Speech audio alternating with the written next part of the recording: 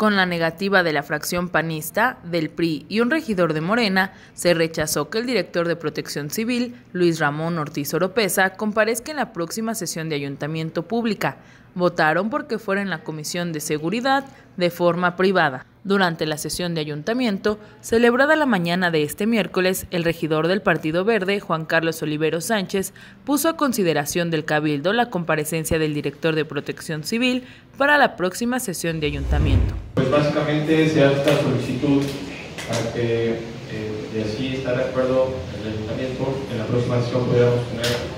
eh, como invitado a este director con el objeto de realizarle algunas preguntas relativas al ejercicio de sus funciones todo esto en virtud de las atribuciones que como regidor me confiere la ley orgánica municipal y la normativa municipal y por lo tanto solicito se pueda someter a Al momento, el regidor del PAN, Aldo Velázquez Velázquez, pidió la palabra para proponer que la comparecencia sea en la Comisión de Seguridad de manera privada y no en la sesión pública. Esta propuesta eh,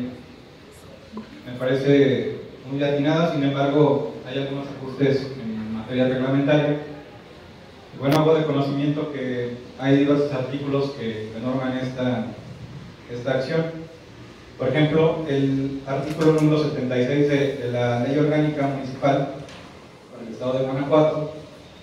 sí marca que existe la, figura de la comparecencia en su fracción 1, inciso M,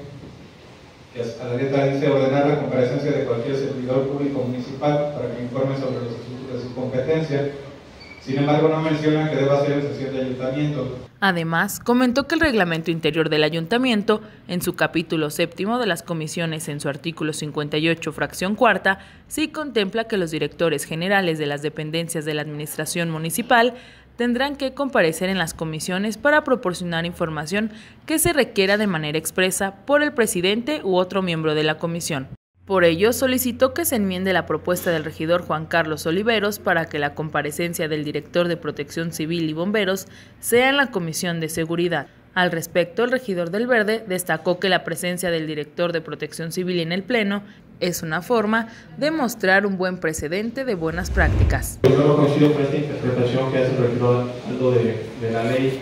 Me parece que eh, pues es una buena oportunidad para sentar un precedente de estas buenas prácticas que aquí en la Casa de todos los layenses, frente a la ciudadanía, podamos eh, resolver las dudas que hay sobre eh, los temas que se han venido mencionando en estos últimos días. Yo no le veo impedimento expreso de la ley para que esto suceda.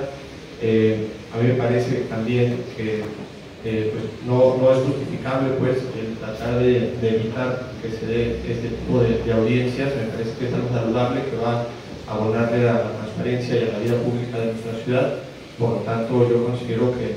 o reitero más bien mi solicitud de que se someta a votación. Sin embargo, a pesar de los argumentos del regidor Juan Carlos Oliveros, los regidores de la fracción panista, del PRI Ezequiel Mancera Martínez y de Morena Uriel Pineda Soto, votaron para que la comparecencia sea de forma privada en la Comisión de Seguridad. Para Noticiero Expresa TV, Abelina Guevara.